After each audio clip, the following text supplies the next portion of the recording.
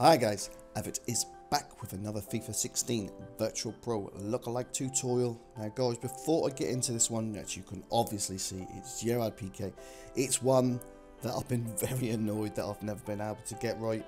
And now the beard and the definition in the hair, even though I'm using an old hairstyle, just makes it look so much better. I'm really pleased with this one again guys. Now, let me just um, explain why it's Piqué.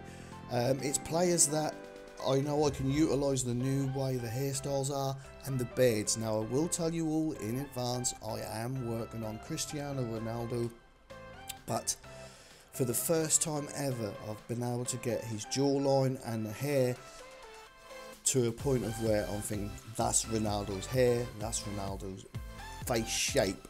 Now the problem is is it still doesn't look enough like Ronaldo for me to want to put it up yet because it's Ronaldo okay guys?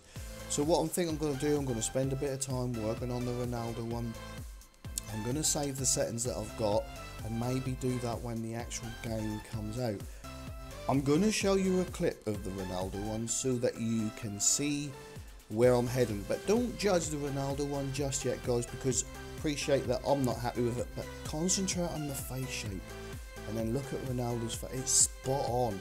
So I just hope that I can get the rest to fall into place. Anyway, let's move on to this one. I'm really pleased with this one, probably as much as the Pirlo one. And before I go any further, I know I'm rambling on, guys, but the last two FIFA 16 videos I've done, um, just the support has been amazing. Um, I got a little bit choked showing my girlfriend and I know it sounds stupid guys but it does mean a lot and to get that kind of reaction just blew me away because my videos have been dead for quite some time now and obviously it's because we're all waiting for something else to get us interested again and I appreciate that and I appreciate you all sticking around. Now please understand that not all of these are going to be as good as I want them to be but I will still try and get them out for you okay guys? So thanks ever so much for that. So let's just turn it around.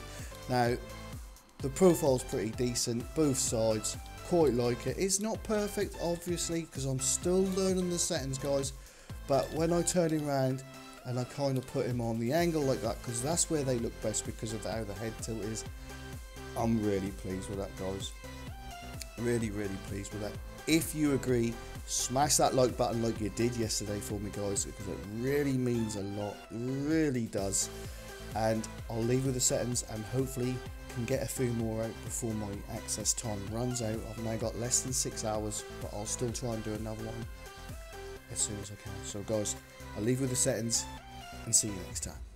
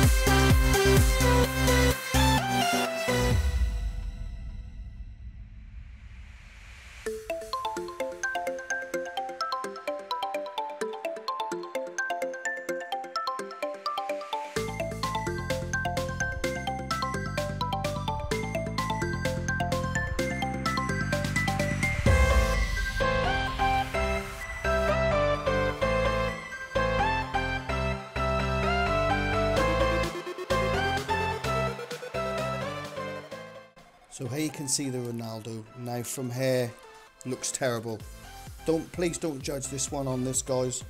Um, but when you do bring him down and you get him on the angle a little bit, now I've tweaked this to a point of where I'm not happy with it, obviously. Um, but look at the face shape, guys. You couldn't get that face shape. Don't ignore the eyes, guys, because I don't know what I've done. I've, I've moved them, and that, but the face shape is what I was after first, and then trying to get the rest fall in place. Now the face shape is there. That's Ronaldo's face shape. Honestly, guys, I'm not going to be able to match his eyebrows, but I'm going to get there. I'm going to get a good Ronaldo. I promise you that. Just stick with me, guys, and I'll speak to you next time.